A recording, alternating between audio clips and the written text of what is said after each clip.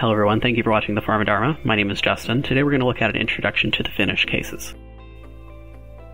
This image is a mnemonic that we're going to use to learn the Finnish cases and the case endings. Some notes about this presentation. I'm obviously not a native speaker of Finnish. This also doesn't include every function of the Finnish cases. There is overlap in case function in Finnish, and this is really a simplified view meant to help you memorize the cases and the case endings. Only singular case endings are included, there are no plural case endings in this presentation. Let's look at the four grammatical cases to start with. The four grammatical cases of Finnish are nominative, accusative, genitive, and partitive. The nominative case takes the function of the subject of the sentence. So, for example, sinä, meaning you. The accusative case in Finnish is relatively rare. However, Iso or the large grammar of Finnish, now states that the only words that have true accusative cases are the personal pronouns and the interrogative pronouns kuka, meaning who, and ken, meaning an older word for who. Older sources will still state that a noun may take the accusative case if it is a total object, meaning that it is the object of a completed action. Otherwise, the partitive case must be used for the object of the sentence. Regardless, this case is comparatively rare in Finnish, and the partitive and genitive cases typically take up the role that the accusative is thought to take up in most languages. Whenever a noun is in the accusative case, it'll take the ending in. However, because the example word is a pronoun, it doesn't have this ending, as you'll notice. The word hänet means him as opposed to he. The genitive case is used to show possession and is used with postpositions in Finnish as well. Additionally, it can be used to show necessity, and it can also mark an object of a sentence whenever the verb or action is happening to the whole object as opposed to a part of the object. The case ending is in, and the example word is a variant of the name Rosa. So Rosan means roses as opposed to Rosa, meaning Rosa's thing. Rosa owns this thing. The partitive case has a case ending of a or a, or ta or ta. The example we have here is mehua, meaning some juice. Mehu means juice, and mehua means some juice. It is used after numbers or other words that show a quantity, and it's used to indicate an amount of a greater whole. For example, the juice in question is not all of the juice that I have, it's just the juice I have in the cup. Because these cases and their case endings are relatively simple, I didn't include them in the mnemonic. Let's look at the three internal locative cases. The first case in our mnemonic is the inessive case. It refers to something being inside of something else. It can also refer to something happening within a period of time. It can also indicate that something is immediately next to something else. The example I have is imagine me inside of my house here. Let's say I've been in here for so long that I'm going insane inside of my house. If we spell insane with two S's instead of one, we have the case ending for the inessive case, which is SSA or SSA. The chosen example we have here is talossa, meaning in the house. The next case is the elative case. The elative case's basic meaning is coming outside of something. So in the case of a house, it would be walking out the door. It is also used for other functions, such as referring to a period of time, being immediately next to something, or referring to an origin or cause of something else. Our mnemonic here is stay out. STA or STA is the case ending for the elative case. The next case is the illative case. Its main function is going inside of something. It is the logical opposite of the elative case. So in the case of the house, it is walking into the door to go into the house. It can also refer to close contact with something. It can refer to until a time specifically, like we are going to do something until the end of the week, or it can refer to the cause of something else. Our mnemonic here is when we are ill, we should go inside, because ill is the beginning of illative.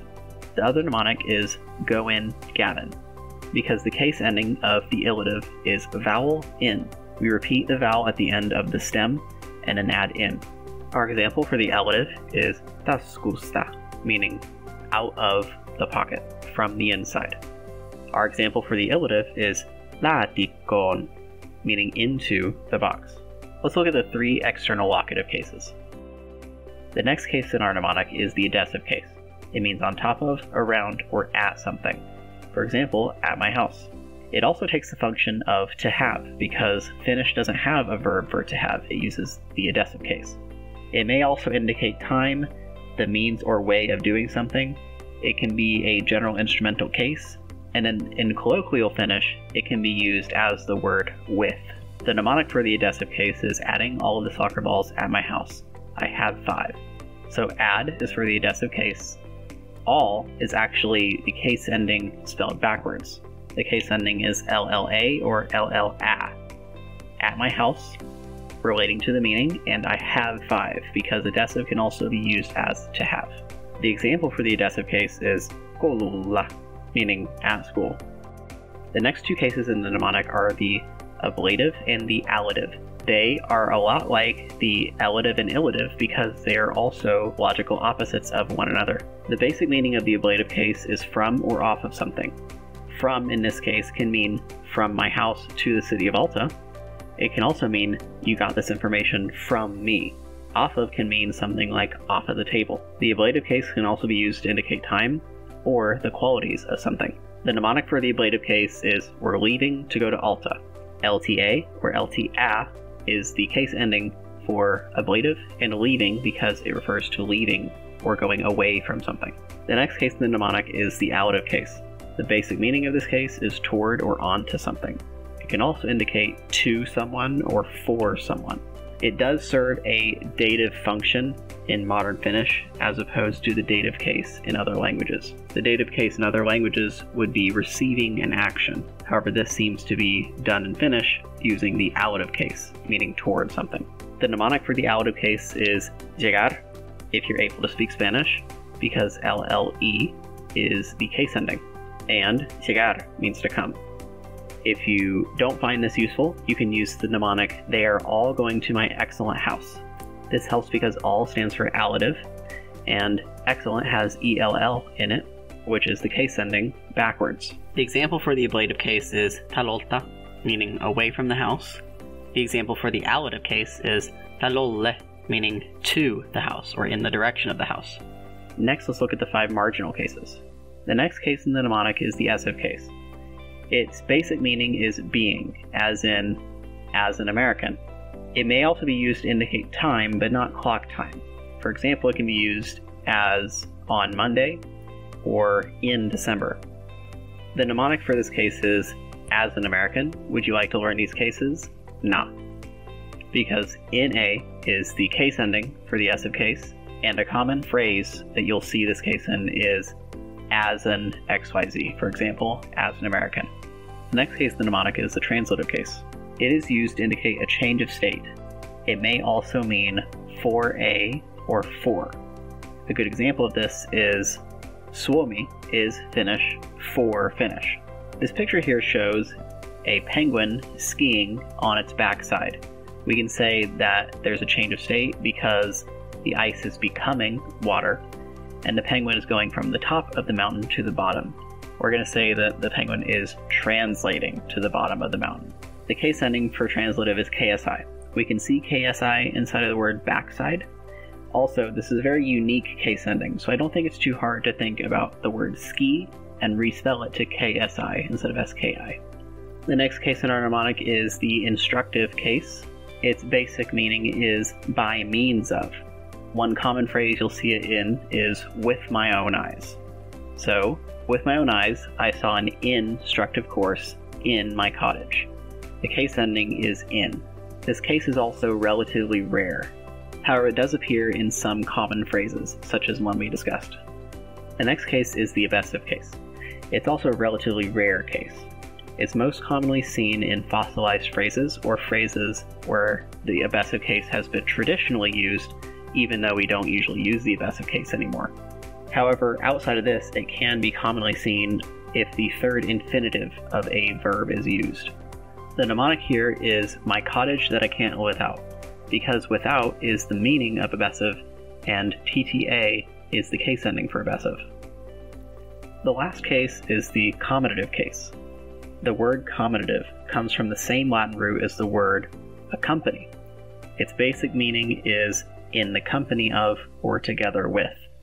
It is also a very rare case. In fact, it's no longer used in modern spoken Finnish outside of fossilized phrases or phrases where it has been traditionally used and it's kind of just stuck.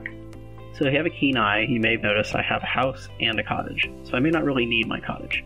However, I stated before I can't really live without my cottage. But another issue is I will never be wealthy if I never sell my cottage with my instructor.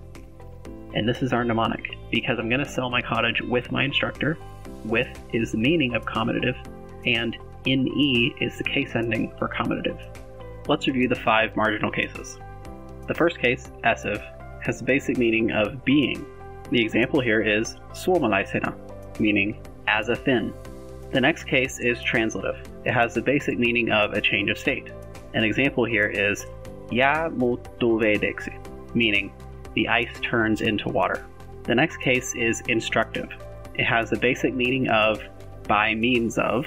The example here in Finnish is omin silmin, which means with my own eyes. The next case is the abessive case. It has the basic meaning of without. The example here is rahatta, meaning without money. The next case is the comitative case. It has a basic meaning of in the company of or together with. The example here is passeineen, meaning with passports. Let's review. Kerrataan vielä. I've attached my charts of the cases so you can review them freely.